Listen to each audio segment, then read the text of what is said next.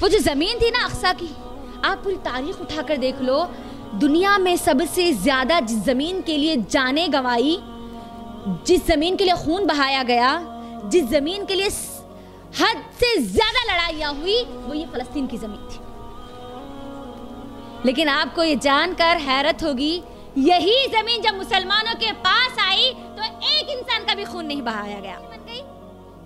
ईसाइयों ने पूरी सलीबी जंगे लड़ी। ये हमारी ज़मीन है हमारी ज़मीन है बोल फिर उसके बाद मुसलमानों को जब ये ज़मीन दी गई, अल्लाह ने जब आता की तो कुरान में डायरेक्ट मुझको और आपको कह दिया कि ये ये ज़मीन की तरफ़ तुमको हमेशा अपने जहनों को रखना है कि ये तुमको दी गई। तुम्हारी तरफ़ इशारा किया गया, हमको कुरान में बतलाया गया। और यहूदियों के लिए तो पहले से वो ज़मीन थी, लेकिन उन लोगों को निकाल दिया गया वहाँ से। उनकी हरकतों की वजह से वो ज़मीन से उनको निकाले गए हराम कर दी गई थी उनके लिए वो ज़मीन। कुरान में अल्लाह रब्बुल आलमीन ने जहाँ पर शैतान को मेरा और आपका पहला दुश्मन बोला गया ना, इस ज़मीन पर ईमानी दुश्मन अगर कोई और है तो वो यहूद और नसारा है। और यहूद और नसारा में भी यहूद सबसे ज़्यादा मेरी और आपकी दुश्मनी में शदीद है। ये वो कौम है जो अल्लाह की सख्त नाफरमान, खातिल कौम है ये खातिल कौम? सख्त दिल कौम है ये। जालिम कौम है ये, जुल्म करने वाली कौम है ये। दुश्मन के बारे में जब तक हम, दुश्मन की तारीख हमको मालूम नहीं होगी, हम हमारे बच्चों को, ये दुश्मनों की साजिशों से कैसे बचाएँगे? हाँ? हम कैसे बचेंगे? दुश्मन के बारे में मालूम ही नहीं है हमको। ये कौन थे? कहाँ थे? कहाँ से आए थे? क्या हुआ था इनके साथ? आज बड़ा नाम लेकर ये जो घूमते हैं, इतनी जिल्लत और रुसवाई के गढ़ों में वो गिरे हुए थे। अगर हमको मालूम होता ना, हमारी जुबानें खोलते और हम बोलते कि तुम्हारी तारीख में तो तुम तो ये थे ये थे ये थे, और हमारी तारीख तुम उठाकर देख लो। आओ 1924 में 1924 में पहली बार उनको रहने की इजाज़त दी गई। और जिस वक्त ईसाइयों ने उमर बिन खत्ताब रज़ी अल्लाह के हाथ में मस्जिद अक्सा की चाबियाँ दी थी, उस वक्त ये अहद किया गया था। उन्होंने खास कहा था कि, ए अमीरुल मोमिनीन यहूदियों को यहाँ रहने की इजाज़त मत देने की। ये किराए के लोग थे और आज क्या क्या कह रहे हैं? कि ये हमारा घर है, ये हमारी प्रॉमिस लैंड है। जब तुमको लैंड दी गई थी, तब तुम कहाँ थे? पीठ फेर कर भाग रहे थे, जब अल्लाह ने तुमको कहा था कि जाओ, दाखिल हो जाओ। बात आई समझ में? अब 1947 से वहाँ पर चल रहा है अब ये पूरा मसाला फलस्तीनियों को मारना, वहाँ से भगाना। एक इलाके पे जाना, वहाँ के फलस्तीनियों के ऊपर घर गिरा देना, वहाँ से बम डालना, उनके बच्चों को खत्म करना, और वो डर के मारे, थोड़ा आगे हट जाते। अब वहाँ पर आते आते आते आते, अब वो कहाँ पर आ गए? गाजा की पट्टी तक आ चुके। जहाँ के बाद से ये बचा कुचा जो फलस्तीन है जहाँ जिसके अंदर मस्जिद अक्सा है, वो हिस्सा भी बाकी है। ये है उनकी तारीख। फलस्तीन के मुसलमानों पे हर रोज जुल्म होता हुआ आ रहा है। अभी की बात नहीं है ये। उनको घर से निकाले जा रहे, उनके घर तोड़े जा रहे, उनके बच्चों को यतीम किया जा रहा, उनकी बीवियों को बेवा किया जा रहा। अब नहीं है ये। अब जो हम देख रहे हैं ना, ये तो एक झलकियाँ है हमारे सामने जो सोशल मीडिया के ज़रिए हमको बताई जा रही है। अल्हम्दुलिल्लाह वहदा वसलात वसलाम अला नबी बाद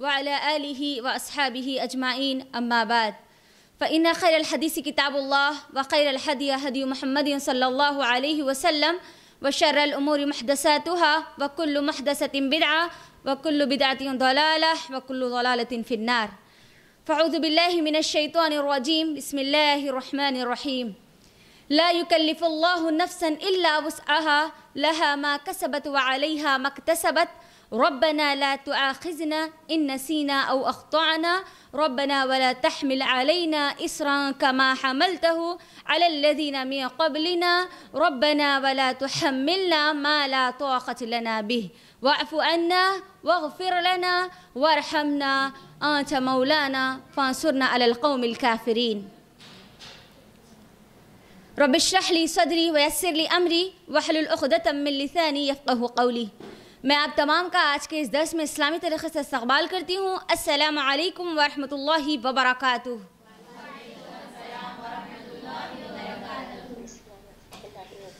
खैरियत से आप सब लोग? अल्हम्दुलिल्लाह। तमाम तारीफ़ात अल्लाह रब्बुल आलमीन के लिए है। जो तमाम जहानों को पालने वाला, खिलाने वाला, इंसाफ करने वाला, हर चीज़ का ज़र्रे ज़र्रे का मालिक है और हर चीज़ पर खादिर है। अल्हम्दुलिल्लाह रब्बिल आलमीन। बेशुबहा दुरुद सलाम मेरे और आपके प्यारे नबी जनाब मोहम्मद रसूलुल्लाह सल्लल्लाहु अलैहि वसल्लम पर, जिनकी मेहनतों और काविशों की वजह से आज मैं और आप एक अकेले अल्लाह वादहु ला शरीक की इबादत करने वाले हैं। सल्ली अला मोहम्मद व अला आलि मोहम्मद। जैसा कि आप तमाम लोग जानते हैं, आज मेरा जो दर्स है, आज के हालात हाजिरा जो चल रहे हैं पूरी दुनिया में, जो ख़बर सबसे ऊपर टॉप पर हेडलाइंस में है, इंशाल्लाह उसके तहत आज हम गुफ्तु करेंगे। अक्टूबर के महीने से पूरी दुनिया की नज़र में आज अगर कोई मुल्क का नाम बार बार लिया जा रहा है तो वो मुल्क कौन सा है? जी, फ़लस्तीन। फ़लस्तीन की असल तारीख़ क्या है? आज इंशाल्लाह आज हम देखेंगे असल तारीख़ अक्सा, यानी फ़लस्तीन की पूरी तारीख़ क्या है और ये यहूद की हिस्ट्री क्या है। ये क्यों आज उस ज़मीन को हासिल करना चाहते हैं, क्यों उस लैंड पर पूरी तरह काबिज होना चाहते हैं?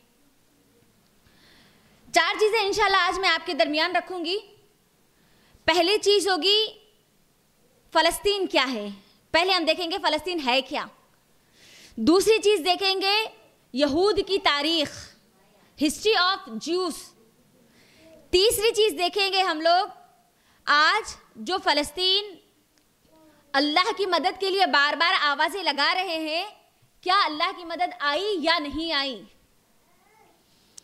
और उसके बाद,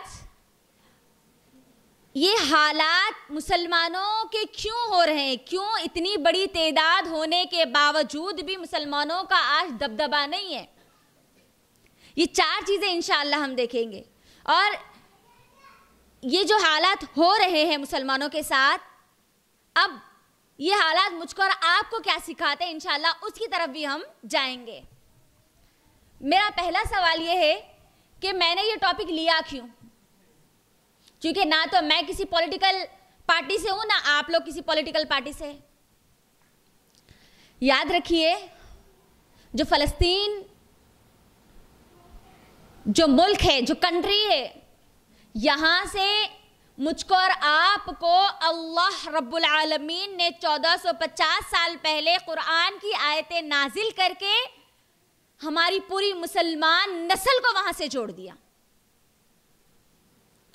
फ़लस्तीन का मसला ना नेशनल मसला है, ना पॉलिटिकल मसला, ना सियासी मसला है, बल्कि ये ईमान का मसला है, याद रखना। मैं इसने इस दर्स को चुना क्यों? उसका मकसद क्या है? मकसद इसका ये है कि हमको इसकी तारीख मालूम हो। आज जो छोटे छोटे बच्चे अपने जानों के नजराने पेश कर रहे हैं, उनके अंदर शहादत का शौक इस कदर है कि उनके घरों पर बम गिराए जाते हैं और उनकी जुबानों से निकलता है, अल्लाह, ला इलाहा इल्लल्लाह। छोटे छोटे बच्चे ये टॉपिक लेने का मकसद ये है कि हम इल्म हासिल करें कि आज जो हालात हो रहे हैं, ये क्यों हो रहे हैं? ये जो यहूद मुसलमानों पर काबिज होने की कोशिश कर रहे हैं, इनकी असल हकीकत क्या है? कौन है ये जालिम लोग? क्यों ये फलस्तीन को हासिल करना चाहते हैं? आज सोशल मीडिया में अलग अलग तरीके से कम इल्म के लोग गलत इल्म के लोग, लोगों के दरमियान इतने फैलते जा रहे हैं, असल जो अक्सा की तारीख है, उस तारीख को हटाकर मुसलमान, कुछ यूट्यूबर्स ये कह रहे हैं कि इसराइल अपनी ज़मीन के लिए लड़ रहा है, लिहाजा उसको अपना लैंड मिल जाना चाहिए नौजुबिल्ला इल्म की कमी की वजह से, बोलने वाले मुसलमान। वो ये समझते हैं कि जो फ़लस्तीन की जो ज़मीन है अलखुद की जो ज़मीन है वो इसराइली लड़ रहे हैं अपनी ज़मीन के लिए। अगर वो ज़मीन के लिए लड़ रहे हैं तो क्या गलत है? अल्लाह अकबर। हमको मालूम ही नहीं है ना कि ज़मीन है किसकी, किराए से थे कौन, इसके ओनर कौन थे। मालूम ही नहीं है हमको। मैं चाहती हूँ कि आज कुरान और हदीस की रोशनी में हम लोग ये समझें। ना हम किसी किसी सियासी तरीके से समझेंगे इसको। ठीक है? ना कोई फौजी एतबार से कोई चीज़ हम इंशाल्लाह ये मसाले को समझेंगे, बल्कि हम कुरान और हदीस की रोशनी में इस मसाले को समझेंगे। मेरा और आपका ताल्लुक कुरान और हदीस से किसी सियासत से नहीं है, ना किसी पॉलिटिकल किसी इशू से है। कुरान और हदीस से है। अल्लाह रब्बुल आलमीन ने जो कुरान में मुझको और आपको दी ना, जाबते हयात बोला गया ना, पूरी ज़िंदगी का फॉर्मूला मुझको और आपको दे दिया गया, हर मसाले का फॉर्मूला मुझको और आपको दे दिया गया। तो अब ये इतना बड़ा इशू है पूरी मुसलमान उम्मत के सामने इतना बड़ा मसाला है तो क्या अल्लाह रब्बुल आलमीन इतने बड़े मसाला, मसाले को कुरान व हदीस की रोशनी में ना रखकर किसी और किताबों की हमको ज़रूरत पड़ेगी? नहीं, ये अल्लाह का वादा है ना, ये जाबते हयात है, पूरी ज़िंदगी के मसालों का हल तुमको कुरान में दे दिया गया तो इस मसाले का हल भी दे दिया गया। आज ये यहूद अपने प्रॉमिस लैंड की जो बात कर रहे हैं ना, मैं उनकी हकीकत आपके सामने रखूँगी कि किस प्रॉमिस लैंड की वो बात कर रहे हैं। जब उनको दिया गया, तब तो पीठ फेर कर भाग गए और आज आज वो आए, मुसलमानों के घरों को गिरा गिरा कर आहिस्ता आहिस्ता आहिस्ता खाबिज होने की कोशिश कर रहे हैं। तो ये तारीख जानना हमारे लिए एज अ मुस्लिम होने के नाते बहुत ज़रूरी है, बहुत बहुत ज़्यादा ज़रूरी है, ताकि हम, हमारे बच्चों को ये तारीख बता सके कि अलखुद हो सकता है आगे चलकर इसकी तारीख की किताबें भी बदल दी जाए। क्योंकि जो मैप है ना, पूरे वर्ल्ड का मैप, उस वर्ल्ड के मैप में तो फलस्तीन को हटा दिया गया। आप देख लीजिए, आज का अगर आप मैप देखेंगे तो वहाँ पर फलस्तीन ढूंढना पड़ेगा वेर इज़ फलस्तीन? कहाँ है फलस्तीन? वहाँ पर इसराइल नाम लिखा हुआ है। आने वाली हमारी जो नस्लें होंगी, वो तो नाम भी भुला देगी। तो हम मुसलमान होने के नाते हमको चाहिए कि हम इसकी तारीख पढ़े, हमारे आने वाली नस्लों को, पूरी की पूरी नस्लों को बताए, और जिस तरीके से इसकी फजीलत बताई गई है, उस फजीलत के मुताबिक अगर अल्लाह ने हमको मौका दिया तो हम वहाँ पर जाएँ भी। तो हम देखते हैं कि ये फलस्तीन है क्या? चार चीज़ें इंशाल्लाह रखूँगी, चार चीज़ें भी आपको याद रखना है। पहली चीज़ मैं क्या बोलूँगी? फलस्तीन फलस्तीन क्या है क्या? कुरान और हदीस का अगर हम मुताला करेंगे ना, फलस्तीन का डायरेक्ट तस्करा तो कुरान में आ गया सूर्य इसरा में आ गया। अहदीस अगर हम पढ़ेंगे तो अहदीस में अल्लाह रब्बुल आलमीन ने नबी सल्लल्लाहु अलैहि वसल्लम के ज़रिए शाम की तरफ़ इशारा किया, शाम। ठीक है? उस वक्त नबी सल्लल्लाहु अलैहि वसल्लम के दौर में जो शाम था ना, आज के पाँच छह कंट्रीज़ को मिलाकर पूरा एक शाम माना जाता था। शाम एक बड़ी एक कंट्री माना जाता था। जॉर्डन है, सीरिया है, लिबनान है और फलस्तीन है। कम अज कम ये चार इलाके और इसके अतराफ के इलाके उतना पूरा मिलाकर शाम होता था। ठीक है? तो ये जो फलस्तीन है ना, ये एक कंट्री है पूरी। इस वक्त एक कंट्री है। लेकिन उस वक्त शाम में थी, याद रखना। मैं बार बार बोल रही क्योंकि अहादीस में शाम का तस्कर आया शाम के ज़रिए हमको फलस्तीन की तरफ़ रहनुमाई की गई। वो पूरा इलाका बहुत बरकत वाला है, पूरा इलाका। बहुत खैर वाला है, वो लोग भी वहाँ के पूरे खैर वाले हैं, क्योंकि अहादीस में बार बार उनकी फजीलतें हमको बतलाई गई है। इब्राहिम सलाम को जब अल्लाह रब्बुल आलमीन ने उनका जो इराक का जो शहर था, उर, बाबुल जो शहर था, वहाँ से जब वो निकले तो अल्लाह रब्बुल आलमीन ने जिस ज़मीन की तरफ़ उनकी रहनुमाई की थी ना, वो ज़मीन कौन सी थी? यही फ़लस्तीन की ज़मीन थी। यही शाम का इलाका था। ख़ास अल्लाह रब्बुल आलमीन ने सुरह अंबिया, आप निकालिए। सुर अंबिया सुरा नंबर ट्वेंटी वन की आयत नंबर सेवेंटी वन। इकहत्तर में अल्लाह रबुल आलमीन ने ख़ास तौर पर बताया कि हमने इब्राहिम और लूत को वो बरकत वाली ज़मीन की तरफ़ जाने का हुक्म दिया। बरकत वाली ज़मीन कौन सी है? फ़लस्तीन। बरकत वाली ज़मीन ही है। ये जो फ़लस्तीन है ना, कोई आम ज़मीन नहीं है। ठीक है? अब ये किसमें आती है उस वक्त नबी सल्लल्लाहु अलैहि वसल्लम के दौर में? शाम के इलाके में आती है, इस बात को याद रखना।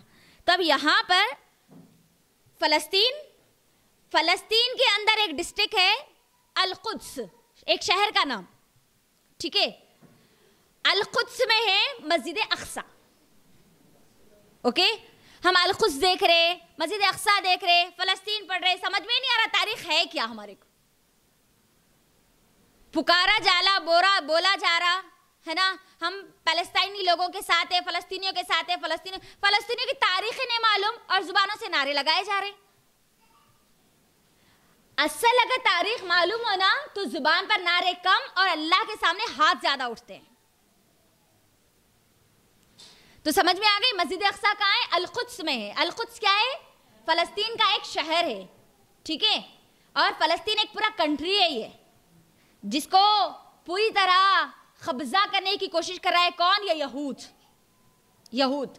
हम देखेंगे ये यहूद कौन सी जालिम कौम है। जिल्लत और रसवाई की किस हद दर्जे पर गए और आज किस दर्जे पर वो आना चाहते हैं। ठीक है? तो अब ये जो मस्जिद अक्सा है, जो फ़लस्तीन में है, अल्लाह रब्बुल आलमीन ने तो हमको कह दिया, है ना? सुबहान असरा बिअब्दिही लैलम मिनल मस्जिदिल हराम इलल मस्जिदिल अक्सा। खास तौर पर रहनुमाई कर दी ना अल्लाह ने। पाक है वो ज़ात जिसने अपने बंदे को मस्जिद हराम से कहाँ लेकर गया? मस्जिद अक्सा। और मस्जिद अक्सा हम जानते हैं, एक ऐसा पॉइंट बना जहाँ पर तमाम के तमाम अम्बियाओं को एक जगह किया गया। और यह अम्बियाओं की ज़मीन है। नबी सल्लल्लाहु अलैहि वसल्लम की हदीस के मुताबिक वहाँ की पूरी ज़मीन में कोई एक हाथ भी हिस्सा ऐसा नहीं है जहाँ पर किसी फरिश्ते का कदम ना रखा हुआ होगा। इतनी बरकत वाली वो ज़मीन है। ठीक है? अब ये पूरा शाम समझ लीजिए। अब मैं जब भी शाम बोलूँगी ना तो आपके जहन में फ़लस्तीन आ जाना चाहिए। और इसके आतराफ के पूरे इलाके, जॉर्डन है, अभी का फिल वक्त, लिबनान है, सीरिया है, और ये फ़लस्तीन है, और उसके आतराफ के कुछ कंट्रीज़ कंट्रीज़ का कुछ कुछ हिस्सा इतना ठीक है? हाँ तो अब ये मस्जिद अक्सा है क्या? सही बुखारी की हदीस के मुताबिक अबू जर गफ़ारी रज़ी अल्लाह तु नबी करीम सल्लल्लाहु अलैहि वसल्लम से सवाल करते हैं अल्लाह के नबी सल्लल्लाहु अलैहि वसल्लम इस ज़मीन पर सबसे पहली मस्जिद कौन सी बनाई गई? तो नबी सल्लल्लाहु अलैहि वसल्लम ने क्या कहा? मस्जिद हराम। अल्लाह के नबी, उसके बाद कौन सी बनाई गई? तो अल्लाह के नबी ने कहा, मस्जिद अक्सा। और भी अल्लाह के नबी ने कहा कि मस्जिद हराम और मस्जिद अक्सा के दरमियान 40 साल का फ़र्क है। कितने साल का फ़र्क है? चालीस साल का फ़र्क है। मेरे और आपकी इस ज़मीन पर बनाई जाने वाली ये कौन सी मस्जिद है? दूसरी मस्जिद है। और हमारा खिबले अव्वल भी रह चुकी है।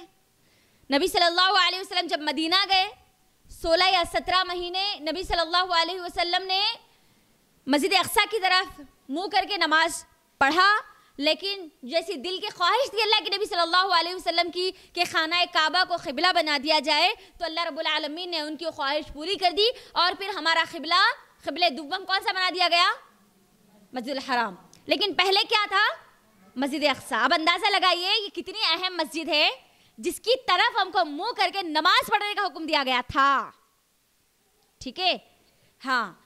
अब ये जो अक्सा है ना, ये फ़लस्तीन, मेरे अरब के जो सहाबा थे, इसकी तारीख, इसकी फजीलतें, इसकी अहमियत, इसकी बरकतों को बहुत अच्छे से जानते थे।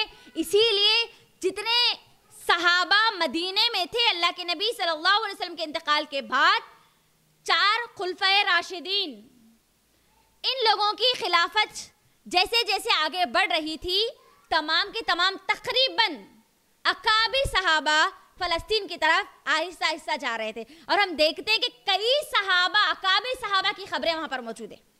खालिद बिन वलीद, वहीं पर मदफून है, वहीं पर वो जाके बसे, शाम पूरा का पूरा उनके हाथ में था। खालिद बिन वलीद रज़ी अल्लाह तु के, सोबान रज़ी अल्लाह तु नौमान बिन बशीर रज़ी अल्लाह तु दहिया कलबी रज़ी अल्लाह तु और इसी तरह अमीर माविया रज़ी अल्लाह तु ये पूरे के पूरे मदीने से किधर जा रहे हैं? फ़लस्तीन की तरफ़ जा रही अंदाज़ा करिए, साहबा के नज़दीक अब, साहबा को मालूम था कि वो बड़ी अहम जगह है। क्योंकि अल्लाह के नबी सल्लल्लाहु अलैहि वसल्लम ने क्या कहा, सफ़र अगर हम सवाब की नीयत से तीन जगह कर सकते, सिर्फ़ और सिर्फ़ तीन जगह कर सकते। अगर हमको सफ़र करना है, सवाब की नीयत से कि हमको अजर मिले, हमको सवाब मिले तो हम सिर्फ़ तीन मसाजिद को जा सकते हैं। कौन से कौन से मसाजिद? मस्जिद हराम, मस्जिद नबवी, नबी सल्लल्लाहु अलैहि वसल्लम की मस्जिद और मस्जिद अक्सा। ये तीन मस्जिदों को जब हम जाएँगे, अजर की नीयत से तो अल्लाह रब्बुल आलमीन ज़रूर उसका अजर देगा। लेकिन इसके अलावा अगर कोई और जगहों पर सवाब मिलेगा, गुनाह माफ़ होंगे। इस, ये सोच के साथ अगर जाएँगे तो फिर ये इस्लाम का हिस्सा नहीं है, बल्कि ये सरासर बिदातियों का हिस्सा है। बिदात का हिस्सा है। याद रखना, तीन जगहों के अलावा कोई भी जगह सवाब समझकर नहीं जा सकते। क्लियर रखना इस पॉइंट को। तो आप अंदाज़ा लगाइए कि ये जगह कितनी अहमियत के हामिल होंगी कि सहाबा, अक्सर सहाबा उधर ही है, वहीं पर है। शाम की वो ज़मीन, जिस ज़मीन पर महशर कायम होगा। मुस्नद अहमद की सही हदीस है ये। महशर का मैदान जिस जगह पर होगा ना, नबी सल्लल्लाहु अलैहि वसल्लम ने हमको कहा कि वो शाम का इलाका और शाम की ज़मीन होगी वो। नबी सल्लल्लाहु अलैहि वसल्लम ने शाम की ज़मीन के लिए बरकत की दुआएँ दी है। खैर की दुआएँ दी है। और हमको यह हुक्म दिया कि जब शाम और अहले शाम से खैर ख़त्म हो जाएगी तो पूरी दुनिया से खैर ख़त्म होना शुरू हो जाएगी। अल्लाह अकबर। अब अंदाज़ा लगा लिए कि ये फ़लस्तीन, ये ज़मीन हमारे लिए कितनी अहम है। ठीक है? मस्जिद अक्सा, इसके ताल्लुक़ से आता है कि इसको जो तामीर करवाया है, सुलेमान अलैहिस्सलाम ने। मुकम्मल तामीर जिन्होंने करवाई थी ना, किसने? सुलेमान अलैहिस्सलाम ने। लेकिन बाद, अब वो मस्जिद नहीं है जो सुलेमान अलैहिस्सलाम ने तामीर करवाई थी। इसको ढा दिया गया। ठीक है? टाइटस जो बादशाह था, उसने वहाँ पर मौजूद जो यहूदी थे, उनको भी ख़त्म कर दिया था। आगे मैं बताऊँगी इनशाला और मस्जिद अक्सा को पूरी तरह ढा दिया गया था। फिर बाद में फिर वो तामीर कर, करवाई गई। आज डोम ऑफ़ द रॉक जो नज़र आ रहा ना, वो मस्जिद अक्सा नहीं होती, याद रखना। मस्जिद अक्सा एकदम साधी है। हाँ उसका गुंबद है, लेकिन वैसा नहीं है जैसा ये डोम ऑफ़ द रॉक जो बताया जा रहा है। मस्जिद अक्सा जैसे आप मानेंगे ना डोम ऑफ़ द रॉक बताया जा रहा नहीं होती हमारी वो मस्जिद। हमारी जो मस्जिद एकदम सीधी और सादी है, याद रखना। मस्जिद अक्सा। और मस्जिद अक्सा हमेशा हर नमाज़ के लिए नहीं खोली जाती। कभी कभार खोली जाती। और जब भी खोली जाती, हम देखते हैं कि उस वक्त क्या हाल होता। कोई ना कोई हमला ज़रूर होता, मुसलमान ज़रूर मारे जाते, फ़लस्तीनियों की जानें ज़रूर शहीद होती। कभी कभार खोला जाता। हमेशा नमाजों के लिए वो मस्जिद नहीं खोली जाती। अब ये जो सहाबा इकराम की मोहब्बत अम्बियाओं की ज़मीन, है ना? अब ये ज़मीन से मुझको और आपकी मोहब्बत होनी चाहिए। पूरी ज़मीन अल्लाह रब्बुल आलमीन की है, याद रखना। लेकिन अल्लाह ने ज़मीनों में भी कुछ ज़मीनों को क्या दी है? फजीलत दी है। जैसा दिन होते हैं ना, सात दिन है, उसके अंदर फजीलत वाला दिन कौन सा है? जुमा है है ना? महीने बारह है, लेकिन उसके अंदर हरमत वाले महीने चार बतलाए हैं। वैसे ही जमीनों में जो फजीलतों वाली ज़मीन है ना, उनमें से एक है ये फलस्तीन की ज़मीन, शाम की ज़मीन। इसकी तकदूसियत यानी इसके मुकद्दस होने की फजीलत हमारे जहनों में होनी चाहिए, क्योंकि इस्लाम मुझको और आपको इसकी फजीलत बतलाता है। ये अरे गैर नत्तु खैर, मौलवी और मुलसाबा ने बतलाते। कौन बतलाते? अल्लाह रब्बुल आलमीन और नबी सल्लल्लाहु अलैहि वसल्लम डायरेक्ट हमको इसकी फजीलत बतलाते। लिहाजा हमको इसकी इसकी हिस्ट्री से जुड़ना कंपलसरी है कि ये क्या है। ठीक है? ये अंबियाओं की ज़मीन है, मेरी और आपकी ज़मीन है, ये महशर की ज़मीन है, बरकत वाली ज़मीन है, खैर वाली ज़मीन है। और इसकी तरफ़ जाना और अल्लाह ने अगर हमारी नस्लों को अगर बेहतर हालात दिए तो वहाँ कर वो जाके बसना, बड़ी खैर की बात होगी। और हमको जाना भी चाहिए। अल्लाह ने अगर मौका दिया तो ज़रूर जाएँगे इन ठीक है? तो अब समझ में आया फ़लस्तीन क्या है? थोड़ा सा मुख्तसर तारुफ। अब उसके बाद देखेंगे ये यहूद। इसराइल को आज हम गाली नहीं दे सकते। हाँ यहूद को हम ज़रूर बोल सकते हैं कि ये जालिम कुत्ते भी है बोल सकते हैं। उनको जानवरों की आखिरी दर्जा भी हम उनको दे सकते हैं। लेकिन इसराइल को इसराइल को नहीं बोल सकते। क्योंकि अपने नस्बत वो जोड़ते हैं। किससे? याकूब अलैहिस्सलाम से जोड़ते हैं। ओके? याकूब अलैहिस्सलाम का नाम था इसराइल। ठीक है, इसराइल इनका नाम था। तो वो उनसे अपने आप को जोड़कर बनी इसराइल कहा गया। कुरान में हम पढ़ते ना बार बार बनी इसराइल बनी इसराइल बनी इसराइल, ये यही यहूद है। ठीक है? तो अब ये यहूद कौन है? ये यहूद जो है ना, मेरे आपके दुश्मन है। कुरान में अल्लाह रब्बुल आलमीन ने, जहाँ पर शैतान को मेरा और आपका पहला दुश्मन बोला गया ना, इस ज़मीन पर ईमानी दुश्मन अगर कोई और है तो वो यहूद और नसारा है। और यहूद और नसारा में भी यहूद सबसे ज़्यादा मेरी और आपकी दुश्मनी में शदीद है। ये वो कौम है जो अल्लाह की सख्त नाफरमान, खातिल कौम है ये खातिल कौम? सख्त दिल कौम है ये, जालिम कौम है ये, जुल्म करने वाली कौम है ये। इन्होंने अंबियाओं को कत्ल किया। अंबिया, है ना?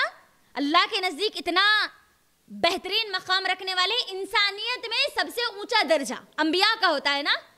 अंबियाओं को इन्होंने कत्ल कर दिया तो ये आम इंसानों को छोड़ेंगे? हाल ही के एक इंटरव्यू में यहूदियों का ये जो प्राइम मिनिस्टर है नितिन याहू इसने क्या कहा?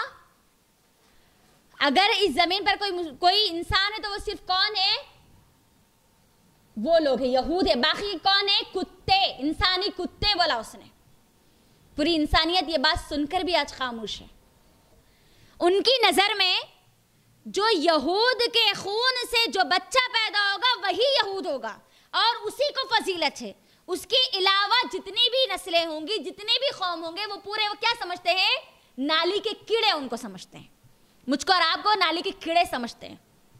इसीलिए फलस्तीन के छोटे छोटे बच्चे भी अगर शहीद हो रहे हैं तो उनके दिलों पर जरा सा रहम भी आज बाकी नहीं है, याद रखना। और ये जितने हैं ना, ये जयोनिस्ट है जयोनिस्ट यानी इनका इनका मज़हब इनको कुछ सिखाता है, लेकिन वो अपने मज़हब के नाम पर दुनिया को हासिल करना चाहते हैं। दुनिया की मोहब्बत शदीद इनके अंदर बैठी हुई है। शदीद। दुश्मन है। दुश्मन के बारे में जब तक हम, दुश्मन की तारीख हमको मालूम नहीं होगी, हम हमारे बच्चों को, ये दुश्मनों की साजिशों से कैसे बचाएँगे? हाँ? हम कैसे बचेंगे? दुश्मन के बारे में मालूम ही नहीं है हमको। ये कौन थे? कहाँ थे? कहाँ से आए थे? क्या हुआ था इनके साथ? आज बड़ा नाम लेकर ये जो घूमते हैं, कितनी जिल्लत और रसवाई के गढ़ों में वो गिरे हुए थे। अगर हमको मालूम होता ना, हमारी जुबानें खोलते हैं हम बोलते कि तुम्हारी तारीख में तो तुम तो ये थे ये थे ये थे, और हमारी तारीख तुम उठा कर देख लो। जब तक हमको इनकी तारीख मालूम नहीं होगी ना, तब तक हम इनकी जो साजिशें हैं, ख़तरनाक साजिशें हैं इनकी, उससे अपने आप को या अपनी आने वाली नस्लों को नहीं बचा सकते। तो इनका जो सिलसिला शुरू हुआ, कहाँ से हुआ? चले आप लिख भी लीजिए। मैं इब्राहिम सलाम से लेकर आज तक इंशाल्लाह आपको बताऊँगी, जहाँ ये लोग, इन लोगों ने अपनी कंट्री को स्टैब्लिश कर दिया कि अब हमारी एक कंट्री बन गई। वहाँ तक हम इंशाल्लाह देखेंगे। ठीक है?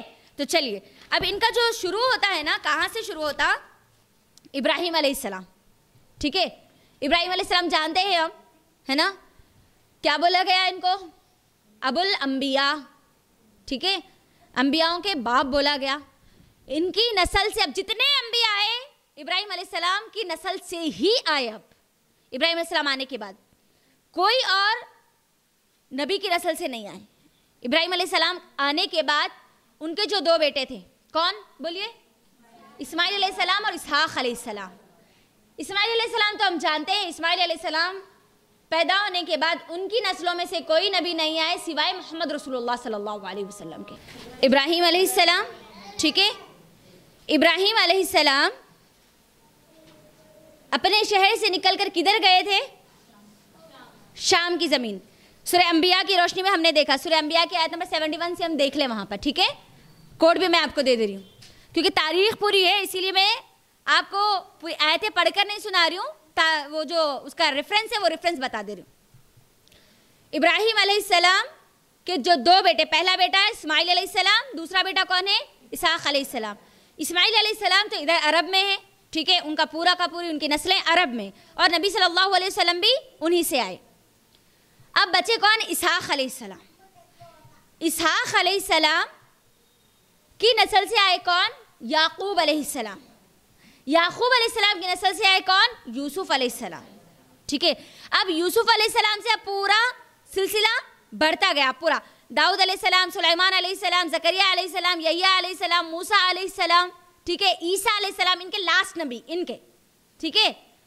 यहूदियों के अंदर जो आखिरी नबी भेजे गए बनी इसराइल की तरफ़, वो कौन से नबी थे? ईसा सलाम। ईसा सलाम और नबी सल्लल्लाहु अलैहि वसल्लम के बीच में जो फ़र्क है, वो अल्लाह के नबी सल्लल्लाहु अलैहि वसल्लम ने बतलाया कि 600 साल। कितना फ़र्क था? 600 साल। अब यहाँ पर ये देखो, इनका नाम बनी, वो इसराइल कैसा पड़ा? बनी इसराइल कैसा पड़ा? इब्राहिम सलाम से इसाक सलाम इसाक सलाम से याकूब सलाम याकूब सलाम का ये लक़ब था इसराइल। ठीक है? इसराइल। इसी से इनका क्या पड़ा? नाम पड़ गया बनी इसराइल। और इनकी अकीदत तो देखो, आज वो कंट्री का नाम भी क्या रख रहे हैं? किस बुनियाद पर? उनके जद आला की बुनियाद पर। याद रखे जाए कि हम कौन है? हम नबी की नस्ल में से है। देखो, अल्लाह अकबर। वो अपने अकीदे को नहीं छोड़ रही। अकीदे को सामने रखकर पीछे से कुछ और वार कर रही है लोग। इसीलिए पीठ पीछे वार करने वाली कौम है ये। बुजदिल कौम है। याद रखना, ताकतवर कौम नहीं है ये, हिम्मत वाली कौम नहीं होती। अल्लाह ने मुझको बार, मुझको और आपको कुरान में कई बार बतलाया कि बुजदिल कौम है, तुमसे डरने वाली कौम है, तुम्हारे पीछे से हमला करने वाली है, इनके सामने से हमला करने की इनकी हिम्मत नहीं है। ठीक है? तो अब यहाँ पर याकूब सलाम तक, ये लोग कहाँ रहते थे? वही अर्ज़ शाम में रहते थे। ठीक है? अब पूरे वो फोर फाइव कंट्रीज़ पूरे। ठीक है? अब यूसुफ सलाम का कुएँ में डाला जाना। कुएँ में से फिर किन लोगों ने उनको निकाला? मिस्र के।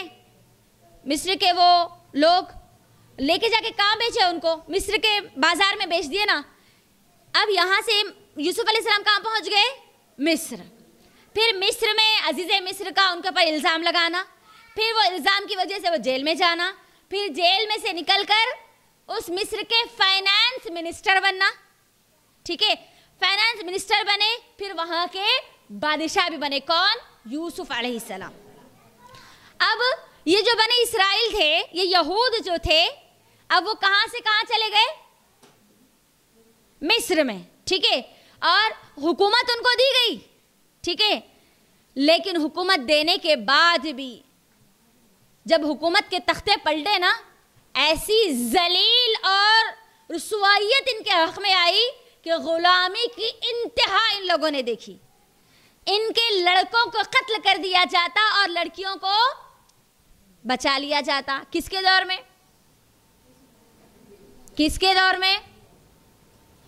किसके दौर में लड़कों को कत्ल किया जाता था और लड़कियों को अगर लड़की पैदा होती तो उसको रख दिया जाता था वैसे ही मूसा सलाम की दौर में। फिर और आया जिल्लत और रसवाई की इंतहा हो गए ये लोग। अंदाज़ा लगाइए। कहाँ थे? मिस्र में थे। मिस्र से मूसा सलाम ने इनको बचाकर फिर की जुल्म से, उस जिल्लत और रसवाई से निकाल कर जब उनको दरियाए नील के उस पार वो लेकर गए और फिर मूसा सलाम कोहितूर पर गए चालीस दिन के लिए। तो इन लोगों ने क्या किया? अपने आँखों से अल्लाह रब्बुल आलमीन ने जो मौजजात करवाए थे, उन लोगों ने देखा अपनी आँखों से। वो एक आशा का अजदा बनकर पूरे के पूरे सांपों को खाना उन्होंने अपने आँखों से देखा। दरियाए नील की ज़मीन को फटते हुए, पानी को हटते हुए उन्होंने अपने आँखों से देखा। ये वो कौम है जिसके लिए अल्लाह रब्बुल आलमीन ने आसमान से खाना भेजा। ये वो कौम है जिसको अल्लाह ने पूरे आलमीन पर फजीलत दी थी। ये वो कौम है जब वो चलते तो उनके लिए एक हाँ एक एक साया उनके साथ हमेशा चलता था। इतनी उन लोगों पर नहमतें की गई थी। लेकिन जैसे ही मूसा सलाम चालीस दिन के लिए तूर पर गए, जब नीचे आकर देखा तो किसकी पूजा करना शुरू कर दी उन लोगों ने? बछड़े की पूजा करना शुरू कर दी। फिर जिल्लत और रसवाई उनके हक में आई। आज वो जिस प्रॉमिस लैंड की बात करें ना, हमको ये लैंड जो आज फलस्तीन का ये प्रॉमिस लैंड है हमको हमारी किताबों में कहा गया। कब याद आया? मालूम? आज 1800 साल के बाद उनको याद आया। 200 साल, तकरीबन ये जो मसाला है ना, ये 200 साल पुराना है ये। 200 साल पुराना है ये। आपका मसला नहीं है ये? अब उनको याद आया, वरना ये दर भदर भटकती हुई कौम थी। कोई कंट्री इनको रहने नहीं देता था। कोई कंट्री इनको रहने नहीं देता था। कभी इधर थोड़े रहते तो कभी उधर थोड़े रहते। जब मूसा सलाम ने देखा कि उनकी कौम इधर उधर भटक रही है, उनके पास कोई ज़मीन नहीं है रहने के लिए तो अल्लाह रब्बुल आलमीन ने उनको कहा कि जाओ, बरकत वाली ज़मीन में दाखिल हो जाओ। सूर्य मायदा उठाइए। सूर्य मायदा सूर्य नंबर पाँच की आयत नंबर इक्कीस से आयत नंबर पच्चीस तक पढ़िए। आज उसमें दाखिल होना चाहते हैं ना ये लोग? अल्लाह रब्बुल आलमीन ने मूसा सलाम के दौर में ही इनको कहा था। क्या कहा था? देखिए, आयत पढ़ रही मैं आप लोगों के सामने।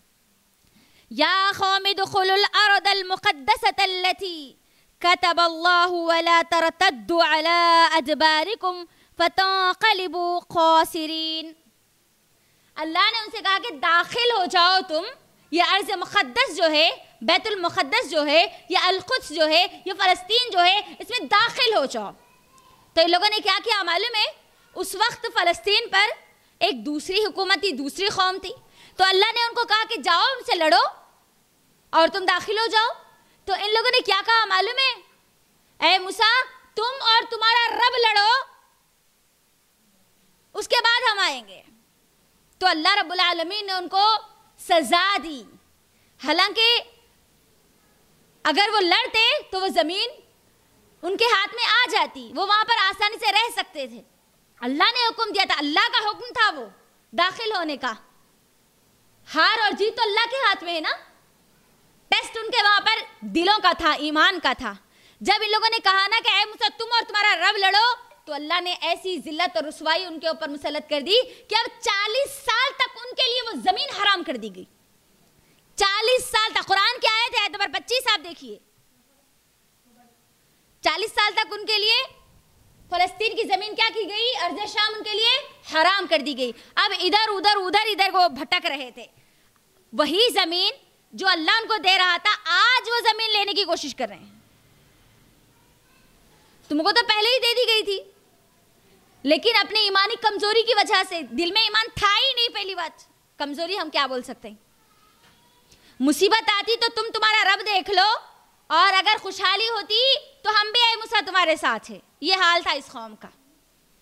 और ये मुनाफिकों का आखिरी दर्जा है है ना? अगर हालात बेहतर है तो हम सबका साथ है है ना? सबका विकास, सबका सबका साथ, सबकी विकास वाली हम बात करेंगे। और जब हालात मुश्किल हो जाएँगे तो हालात का मुकाबला तुम अकेले ही खुद कर लो। हम उसके अंदर नहीं जाना चाहते। अपनी जान से बड़ी मोहब्बत थी उनको। दुनिया की ज़िंदगी से बड़ी मोहब्बत थी उनको। मरना नहीं चाहते थे ये लोग। मौत से बड़ा डर था इन लोगों को। ये कौम को। आगे बताऊँगी मैं कैसे मुसलमानों ने इनके ऊपर तसल्लुद हासिल किया था ना तो कैसे किया था। तो अब यहाँ पर कहाँ तक आए हम लोग?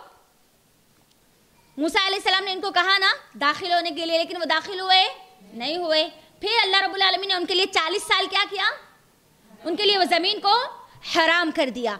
अब उसके बाद, चालीस साल होने के बाद, फिर उसके बाद सुलेमान सलाम ने जब हुकूमत की तो सुलेमान सलाम अल्हम्दुलिल्लाह, अल्लाह रब्बुल आलमीन ने उनको पूरी ज़मीन की हुकूमत अल्लाह ने अता की थी। फिर से ये लोग उरूज पर आए, ठीक है? और फिर उसके बाद योशा बिन नून सलाम जो थे, उनके दौर में भी ये लोग यहाँ पर उरूज पर थे, फ़लस्तीन में। लेकिन अब उसके बाद, क्योंकि इनकी ये जो साजिशें थी ना बहुत ख़तरनाक थी। दुनिया परस्त थे ना वो लोग। अल्लाह रब्बुल आलमीन की शरीयत को जब जब भी लोगों ने अमल किया, अल्लाह ने उनको उरूज दिया। जब जब उन्होंने अल्लाह की शरीयत को तोड़ा, अल्लाह ने उनको जवाल की तरफ़ पहुँचा दिया। अब एक दो मरतबा वो लोग उरूज पर थे। वहाँ पर अच्छे से ज़बरदस्त अपनी ज़िंदगी गुजार रहे थे। उसके बाद ईसा सलाम को जो क़त्ल करवाया ना, हालाँकि हमारी शरीयत के मुताबिक ईसा सलाम ख़त्ल नहीं हुए, लेकिन उनकी शरीयत के मुताबिक ईसा सलाम ख़त्ल हो चुके। तो ये जो पूरी प्लानिंग थी ना, ये भी किसने की थी? यही यहूद ने की थी। फूट डालो और हुकूमत करो, ये इन्हीं का नारा है, याद रखना। ठीक है? दो मुसलमानों के बीच में आग लगाने का काम करने वाले कौन है? यही यहूद है। याद रखना हमेशा। लड़ाई फितने, फसाद, बर्पा करने वाली जालिम और दुश्मन कौम अगर हमको कोई बताई गई तो वो सिर्फ़ और सिर्फ़ यहूद है। नसारा है, लेकिन नसारा से ज़्यादा शदीद नफरत कौन है? नफरत करने वाली यहूद है। ठीक है? हाँ अब उसके बाद ईसा सलाम उनके कौन से नबी है? आखिरी है, उनकी किताब के मुताबिक। ठीक है? ईसाइयों के मुताबिक ईसा सलाम आखिरी है, मूसा सलाम ये जो यहूद है ना, इनके मुताबिक आखिरी है। लेकिन हमको क्या बताया गया? ये बनी इसराइल की तरफ़ जो आखिरी नबी भेजे गए थे वो कौन से थे? ईसा सलाम थे। बनी इसराइल की तरह अभी नबी वसल्लम नहीं आए। ठीक है आखिरी नबी। बख्त नज़र हमने पढ़ा ना अल्लाह ने चार बादशाहों को पूरी दुनिया की हुकूमत दी थी। दो में उसके अंदर दो कौन थे? काफिर और गुमराह थे। और दो कौन थे? तो, तोहीद परस्त थे अल्लाह के पसंदीदा बंदे थे। तो चार कौन कौन थे? एक तो बख्त नज़र और दूसरा हारून। ठीक है फिर उसके बाद एक सुलेमान सलाम और एक जुल्खरनैन ठीक है? तो अब ये बख्त नज़र जो था ना, अल्लाह रब्बुल आलमीन ने सूर्य इसरा में, ठीक है सूर्य बनी इसराइल, आप जाइए और उसका कोड देखिए। सूर्य नंबर सत्रह की आयत नंबर चार और पाँच। इसके अंदर कहा अल्लाह रब्बुल आलमीन ने कि ये जो यहूद है ना, ये ज़मीन पर दो मरतबा ख़तरनाक फसाद बर्पा करेंगे। बड़ी ख़तरनाक तरीके से ये मारे भी जाएँगे, जलील और रसवा भी होंगे। तो मुफसरीन और मौरखीन ये कहते हैं कि पहला जो फसाद हुआ था वो तो ये बख्त नसर ने किया था। ये था कौन? ये बाबुल का बादशाह था और इसने जब फलस्तीन पर हमला किया तो वहाँ पर रहे कौन? रहे थे पूरे यहूद। ठीक है? यहूद रहते थे वहाँ पर। उसने इतनी बुरी तरीके से तरीके से इनको मारा, उनके घरों में घुस के उनको निकाला और उनके घरों को बर्बाद किया, उनकी बस्तियों को तोड़ा, उनकी बस्तियों को आग तक उसने लगा दी और उनके जो मर्द थे यहूद के उनको सुतूनों से बाँध कर वो कहाँ ले गया बाबुल लेकर गया। कौन? बख्त नज़र। बड़ी जिल्लत और रसवाई का इनको सामना करना पड़ा। किसको? यहूद को। ये एक हो गया। उसके बाद ये जो बख्त नज़र का जो वाक़ है, ईसा सलाम के बाद से हो रहा है उसके फिर सत्तर साल के बाद और वो वाक़े के फिर सत्तर साल के बाद टाइटस नामी बादशाह आया। टाइटस ये तो इतना खतरनाक था, अल्लाह अकबर। ज़िंदा जलाया उसने यहूदियों को। ज़िंदा जलाया। अब यहाँ पर जैसे ही टाइटस ने यहूदियों पर हमला किया, उनको मारा, उनकी तरफ़ आगे बढ़ता गया तो ये जो यहूद थे ना, डर के मारे क्या करे? थोड़े थोड़े थोड़े थोड़े दुनिया में इधर, उधर इधर उधर भाग गए। इसी को डायस्पोरा कहा जाता है। ठीक है? तकरीबन ईसा इस्लाम के सत्तर साल के बाद हुआ ये टाइटस का। ओके तो अब यहाँ पर जो थोड़े थोड़े थोड़े इधर उधर भाग गए ना तो अब यहाँ पर टाइटस के हमले के बाद 1800 साल तक ये पूरी कौम गुमशुदा थी। कहाँ है ना मालूम? कब तक गुमशुदा थे? तर बदर फिर रहे कभी इधर, कभी उधर कभी उधर। और हम जानते हैं कि हिटलर इनका क्या अंजाम कर चुका था। यूरोप कंट्रीज़ में उनको रहने की परमिशन नहीं थी।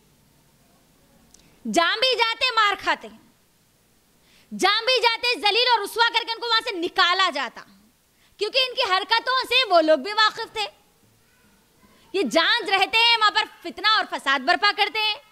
तो अब यहाँ पर हुआ क्या? देखो 1800 साल तक ये लोग क्या थे? गुमशदा थे। मालूम ही नहीं था कहाँ है, किधर है। कहाँ ये कौम? ओके, अब उसके बाद फलस्तीन पर 313 में, याद रखो ये डेट 313 में कॉन्स्टेंटाइन बादशाह वहाँ पर काबिज था और इसने 313 में ईसाइत को कबूल कर लिया था और अब पूरा का पूरे फलस्तीन में कौन हो चुके? ईसाई रहने लगे। ठीक है? अब ईसाई वहाँ पर बसने लगे। इन लोगों का कोई नामो निशान भी नहीं है वहाँ पर। ओके? अब 313 ईसवी से लेकर क्रिश्चियन एरा से लेकर 1637 तक, छह ईस्वी तक ईसाइयों की ही वहाँ पर हुकूमत थी। रूमियों की हुकूमत थी, रोमन एम्पायर वहाँ पर थे। ओके? अब उसके बाद 337 में क्या हुआ? ये सेवेंथ सेंचुरी मेरे और आपके लिए बहुत अहम है। ये नबी सल्लल्लाहु अलैहि वसल्लम का दौर था। सेवेंथ सेंचुरी है 637 में उमर बिन खत्ताब रज़ी अल्लाह तु के दौर में फिर ये मस्जिद किसके हाथ में आई? मुसलमानों के हाथ यहूद के हाथ में थी। ठीक है? इब्राहिम सलाम से कहाँ तक? टाइटस ने उनके ऊपर हमला किया। वहाँ तक वो लोग कहाँ थे? मस्जिद अक्सा में थे। वहाँ पर फलस्तीन में रहते थे। उसके बाद कई बार निकाले गए, फिर आए, निकाले गए, फिर आए। ऐसा ही हाल हुआ उनका। उसके बाद 1800 साल तक अब उनके हाथ में कुछ भी नहीं है। 1800 साल के बाद भी वहाँ पर थे कौन? ईसाई। ठीक है कॉन्स्टेंटाइन उसका नाम बोला जाता है बादशाह का। 313 से उन्हें पूरा हुकूमत कर रहा था वहाँ पर। उसने ईसाइयत को कबूल कर लिया। 637 में वो जो ज़मीन थी ना अक्सा की, आप पूरी तारीख उठाकर देख लो। दुनिया में सबसे ज़्यादा जिस ज़मीन के लिए जाने गंवाई, जिस ज़मीन के लिए खून बहाया गया, जिस ज़मीन के लिए हद से ज़्यादा लड़ाइयाँ हुई, वो ये फ़लस्तीन की ज़मीन थी। लेकिन आपको ये जानकर हैरत होगी, यही ज़मीन जब मुसलमानों के पास आई तो एक इंसान का भी खून नहीं बहाया गया। जब मुसलमानों ने फ़लस्तीन को पूरी तरह घेर लिया ना 637 में, उमर बिन खत्ताब रज़ी अल्लाह तु के दौर में तो ईसाइयों ने क्या कहा? आप आपके अमीरुल मोमिनीन को बुलाइए हम अमानत के साथ, अमन व आमान के साथ ये मस्जिद अक्सा की चाबियाँ, अलखुद की चाबियाँ उनके हाथ में थमा देंगे और हम यहाँ से चले जाएँगे। बगैर लड़ाई के, बगैर खून खराबे के, पूरी तारीख में सिर्फ़ एक वाहिद वाक़ है जिसके अंदर खून नहीं बहाया गया और अमन व सलामती के साथ ही मुसलमानों के हाथ में आ गया, मस्जिद अक्सा। जब उमर बिन खत्ताब रज़ी अल्लाह तु मस्जिद अक्सा की चाबियाँ लेने के लिए जब गए जब वहाँ पर पहुँचे, जैद बिन हारिस रज़ी अल्लाह वहीं पर थे। जैद बिन हारिस रज़ी अल्लाह ने क्या कहा, ए अमीरुल मोमिनीन, आप अपना थोड़ा घोड़ा घोड़ा अच्छा ले, तुर्की एक घोड़ा ले लेते, लिबास ज़रा ज़बरदस्त बेहतरीन, जेबतन कर लेते तो और अच्छा होता, और शान बढ़ जाती। तो उस वक्त उमर बिन खत्ताब रज़ी ने क्या कहा था, ए जैद, याद रखो, तुमको ना घोड़ों की वजह से इज़्ज़त दी गई, ना लिबास की वजह से इज़्ज़त दी गई, तुमको इज़्ज़त मिली, किससे? इस्लाम से इज़्ज़त मिली। जब तक ये इस्लाम तुम्हारी ज़िंदगी में रहेगा, तुमको इज्जतें मिलती रहेगी। जिस दिन तुम इस्लाम को छोड़ दोगे, तुम जिल्लत और रसवाई की दलदल में जाके पहुँच जाओगे। उस वक्त अमीरुल मोमिनीन ने कहा था, हमको इज़्ज़त इस्लाम से मिली, इस्लाम से। तो उस वक्त आया, कब आया? मुसलमानों के हाथ में सिक्स थर्टी सेवन छह सौ सैतीस ईस्वी में मुसलमानों के हाथ में आया क्या? फलस्तीन। अब यहाँ से अब मुसलमानों के हाथ में ही रहा। एक हज़ार नौ तक, यानी 460 साल मुसलमानों के हाथ में था, यही फलस्तीन। 460 साल। अमन अमन के साथ, सलामती के साथ वहाँ पर लोग रहते थे। अब वहाँ पर रहने वाले लोग कौन है अब पूरे? मुसलमान। कब से रह रहे वो? सिक्स थर्टी सेवन ईस्वी से रह रहे वो लोग। अब जितने भी लोग हैं वो उन्हीं की नस्ल, साहबा की नस्लों में से है वो पूरे वहाँ पर। सैतीस ईस्वी से एक हज़ार नन्यानौ तक मुसलमान उसके पर काबिज थे, मुसलमानों की वहाँ पर हुकूमत थी। उसके बाद सलीबी जंगें हुई। क्रूसेडर वॉर बोला जाता ना, सलीबी जंगें। ये जो ईसाई थे, ईसा सलाम के नाम पर, मस्जिद अक्सा की फतेह के नाम पर, कि ये अक्सा पहले हमारी थी, इन मुसलमानों ने ले लिया। इसकी बुनियाद पर इतने जुल्म बहाए, अल्लाह अकबर, सलीबी जंगों के बारे में कभी उठा के देखो। एक हज़ार नन्यानौ में ये जो सलीबी जंगें हुई, मस्जिद अक्सा मुसलमानों के हाथ से चली गई। फिर यही रूमियों के हाथ में, यही ईसाइयों के हाथ में चली गई। ऐसा ऐसा जुल्म किया इन ईसाइयों ने मुसलमानों पर। यहाँ तक तारीख में मौजूद है कि मुसलमानों को जलाना तो दूर की बात है, जला के पका कर खाया इन लोगों ने। इतना खून बहाया कि उनके जो खून, मुसलमानों के जो खून थे, वो उनके जो घोड़े थे, उनके घुटनों तक था, घुटनों तक। इन ईसाइयों ने। आज ये कैथोलिक ईसाई जो है ना, अपने आप को अमन और सलामती का देवता बनाते हुए जो पेश करते हैं ना, सफ़ेद सफ़ेद जुब्बे पहनकर, हम हमेशा पीस पीस बोलते, पीस लोगों के सामने पेश करने वाले यही इन लोगों ने इतना जुल्म ढाया कि मुसलमानों का साथ गाजर और मूली की तरह से काटते चले गए, काटते चले गए। अब ये मस्जिद अक्सा किसके हाथ में चला गया? ईसाइयों के हाथ में चला गया। फिर उसके बाद अठारह में वो मुजाहिद आया जिसको एक माँ ने तैयार किया था, सलाउद्दीन अयूबी रही अठारह 1887 में फिर सलाउद्दीन अयूबी ने मस्जिद अक्सा को फिर वापस लिया। तो अब यहाँ पर एक हज़ार नौ से अठारह तक किसके हाथ में थी ये? ईसाइयों के हाथ में थी। यानी कम बेश 88 ईयर्स अट्ठासी साल। ठीक है? अब ग्यारह सौ सत्यासी में किसके हाथ में आई? अब फिर ये मुसलमानों के हाथ में आई। अब देखो यहाँ पर। ग्यारह सौ सत्यासी से अब ये मामला फिर मुसलमानों के पास ही रही है, मस्जिद अक्सा। फिर वहाँ पर मुसलमान। अब मुसलमान कब से है ये? नबी सल्लल्लाहु अलैहि वसल्लम के दौर से यहाँ पर पूरे मुसलमान। ठीक है, सातवीं सदी से यहाँ पर मुसलमान मौजूद है। कहाँ पर? फलस्तीन में। अब उसके बाद ग्यारह सौ लेकर पंद्रह सौ बारह तक, सत्रह तक सॉरी उस्मानी जो हुकूमत थी ना, उस्मानी हुकूमत उस्मानी हुकूमत के तहत ये पूरा फलस्तीन था, यानी मुसलमानों के हाथ में ही था। 1520 में, याद रखो, तारीख में बता रही हूँ आ रही हूँ मैं, इधर हमारे पूरे 2023 तक आ रही हूँ मैं।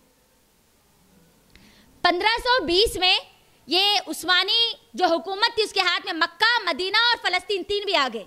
इसीलिए उन लोगों ने क्या नाम दे दिया? खलीफा उस्मान, खिलाफत का नाम दे दिया। ठीक है? खिलाफत उस्मानिया, ये नाम स्टैब्लिश हो गया था। तो ये मुसलमानों के हाथ में ही रहा। ठीक है? अब उसके बाद 1520 से लेकर 1917 तक 1917 तक किसके हाथ में था? ये मुसलमानों के हाथ में था। फ़र्स्ट वर्ल्ड वॉर हुई 1914 में 1914 में। ये मुसलमानों के पास था। अब वहाँ पर तुर्की ने जर्मनी का साथ दिया। जर्मनी वहाँ पर हार गई और तुर्की के हाथ से क्या चला गया? मेरे और आपके हाथ से फिर ये मस्जिद अक्सा चली गई। 1917 में हमारे हाथ से फिर फलस्तीन चला गया। और किसके हाथ में चला गया? ब्रिटिश के, ये बर्तानिया के हाथ में, ये अंग्रेज़ों के, गोरों के हाथ में चला गया। अभी तक यहूद लापता है। ठीक है, टाइटस के बाद से अभी तक उन्होंने उनका वजूद नहीं है कुछ भी। कभी इधर फिर रहे, कभी उधर फिर रहे, जिल्लत की मार, कभी उधर मार रहे, कभी इधर मर रहे। ठीक है 1917 में जब ये ब्रिटिश के हाथ में चला गया, फिर उसके बाद 1924 में मुसलमानों ने रहम खाकर उनको वहाँ पर अपने किराए के घर रहने के लिए दे। किसको? तो यहाँ पर उनको कोई दुनिया में कहीं रहने नहीं दे रहा। रहम किसने किया? मुसलमानों ने किया। आओ 1924 में 1924 में पहली बार उनको रहने की इजाज़त दी गई।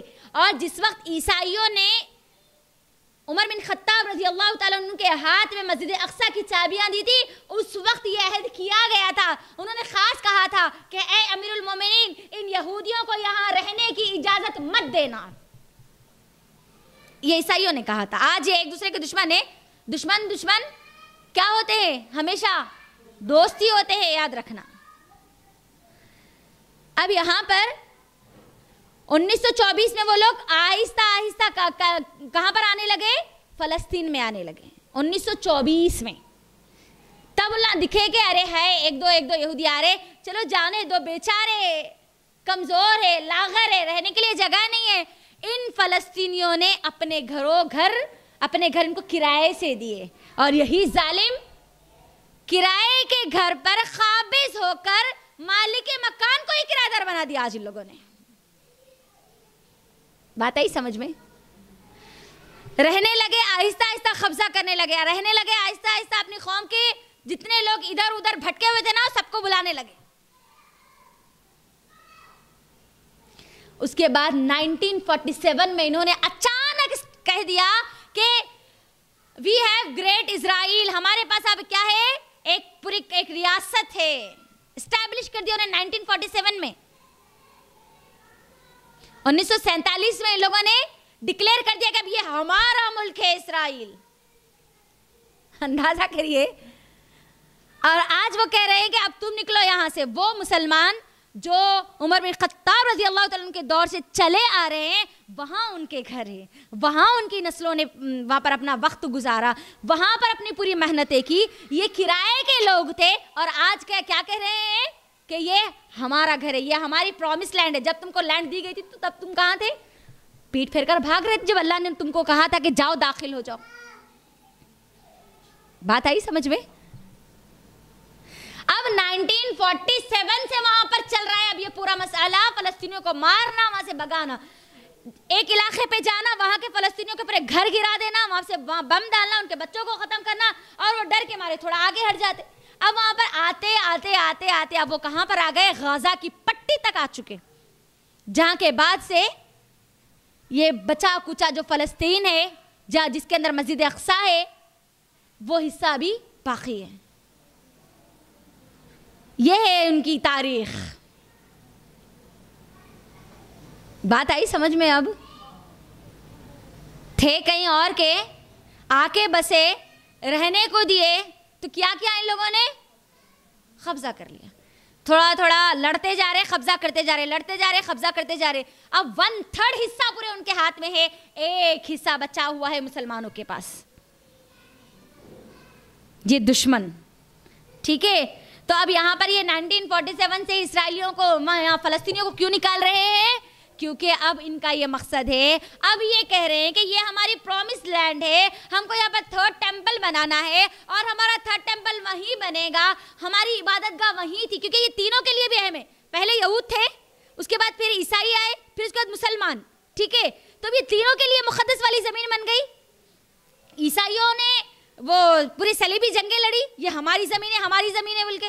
फिर उसके बाद मुसलमानों को जब ये ज़मीन दी गई, अल्लाह ने जब आता की तो कुरान में डायरेक्ट मुझको और आपको कह दिया कि ये ये ज़मीन की तरफ़ तुमको हमेशा अपने जहनों को रखना है कि ये तुमको दी गई।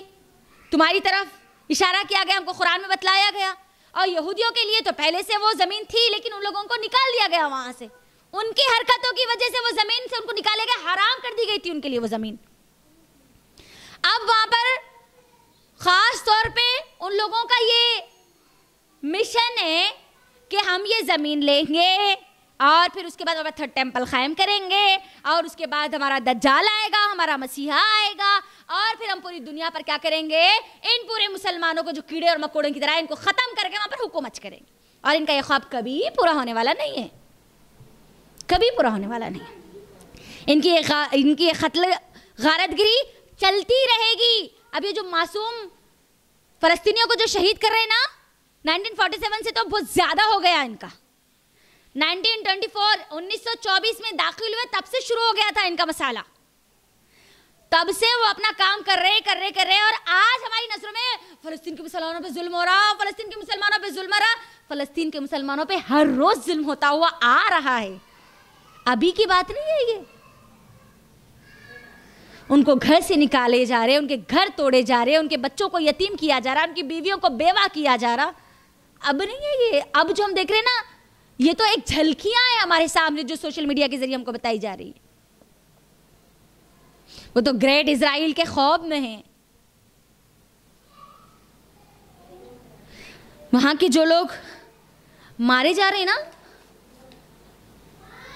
उनकी जो जुबानों की जो आहटे है ना, वो किसको पुकार रही मालूम है?